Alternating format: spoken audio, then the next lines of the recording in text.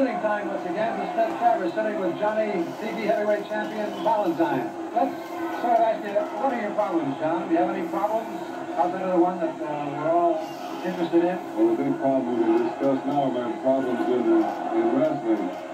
Naturally, I'm striving to get to the top, and the only thing up there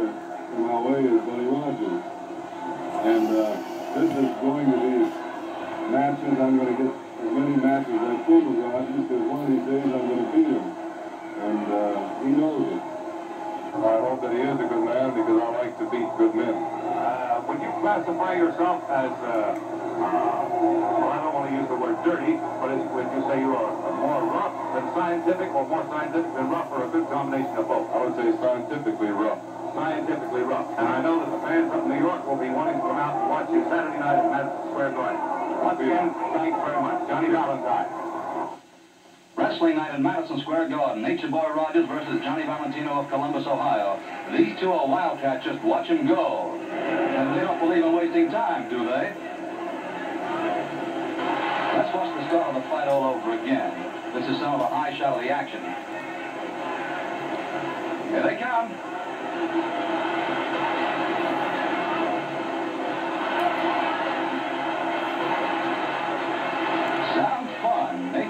The blonde wrestler, by the way. Some wrestlers say his blondness is more by design than nature, but what is natural about him is his talent for annoying other grapplers.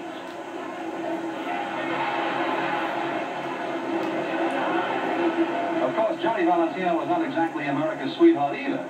He's as mean as Nature Boy. He's got an arm lock on Rogers now, and that ought to slow him up.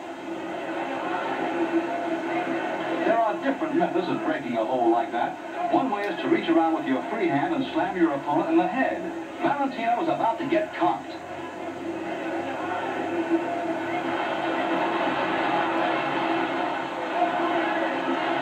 This game is not recommended for people with weak backs. No, sir.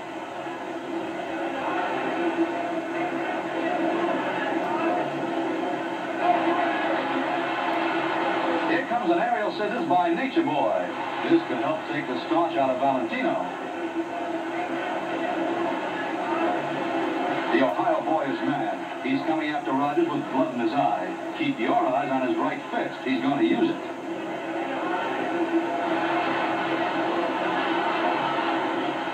It's flying time again.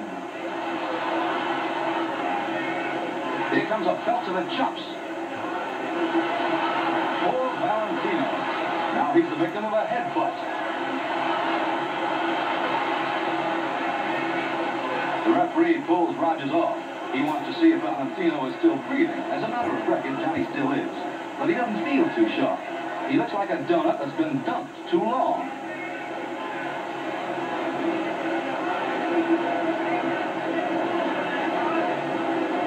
Does Nature Boy feel sorry? Not at all. He goes around telling the fans in the garden that the guy had it coming to him.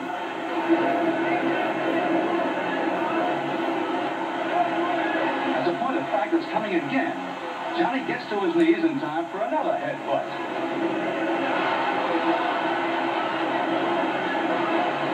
That finishes the Ohio wrestler. He's cold, still unconscious in the garden ring. Nature Boy is the winner. As for Johnny Valentino, he's all right, fans, but he's still listening to the Meadow Watch. When he comes to, they'll tell him the score. It was Nature Boy Rogers by a KO. Buddy Rogers.